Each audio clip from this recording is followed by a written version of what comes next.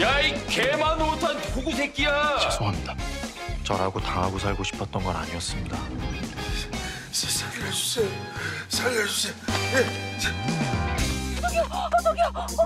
역행성 기억 상실증입니다. 이 일기장 동식 씨 거 같은데 차에 떨어졌었나 보더라고요. 내가 사이코패스 살인자라니. 자살을 위장해 사람을 죽이며 쾌락을 느끼는 사이코패스. 사실 나는 은밀한 취미가 있어요. 이 다이어리는 말하고 있다. 내가 연쇄 살인마라고.